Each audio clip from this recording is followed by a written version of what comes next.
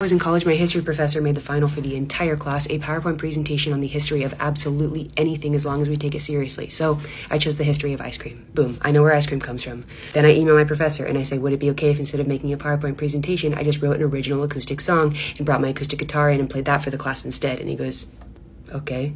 Take the brief very seriously and I write an original song about ice cream.